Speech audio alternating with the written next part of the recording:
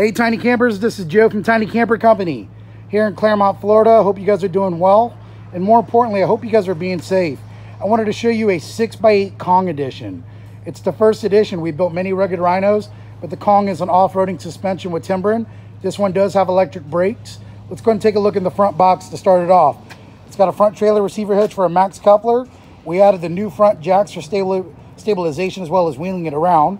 Seven pin, uh, three foot uh, power chains, but it's got a metal box instead of a cargo rack. Let's go and take a look in it. This one's built a little bit different. We have an off-the-grid package. We basically have a 1,000 watt inverter with a NOCO electric actual um, trickle charger. But what makes this cool is you can actually plug it in right there. It'll power everything inside without taking anything out. Let's go and take a look over here. So, six wide edition. We've normally done five. We've no normally done four. Six wide is something new that we have done. What we have done is when we insulated the roof, we actually had to seam two uh, panels together and we put that nice aluminum strip there. Um, it is reinforced for a rooftop tent. Right then and there you have your nice front shelf. Something we have done differently, guys. Uh, from the Southern Tech uh, Institute, we have actually met with the individual that is uh, kind of um, said that our Valterra vents were restricting air from coming in. So what we have done here is we've used the same Valterra vents we use outside for the climate right, but what we have done is we have actually put a little mesh net inside that you can get from an aluminum screen.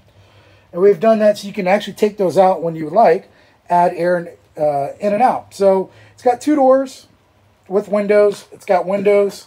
This one does have a off-the-grid power package, which includes two USBs, um, a cigarette lighter, and a voltmeter.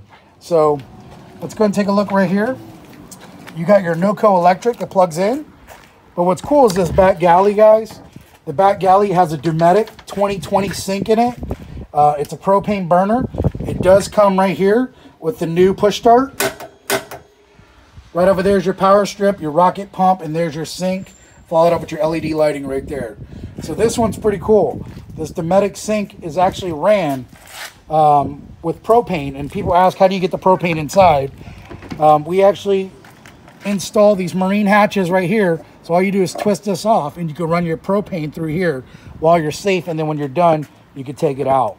It does have a spare tire mount holder, 31 inch tires, and this one on this Kong does have electric brakes on it. So, all right aligned underneath, guys.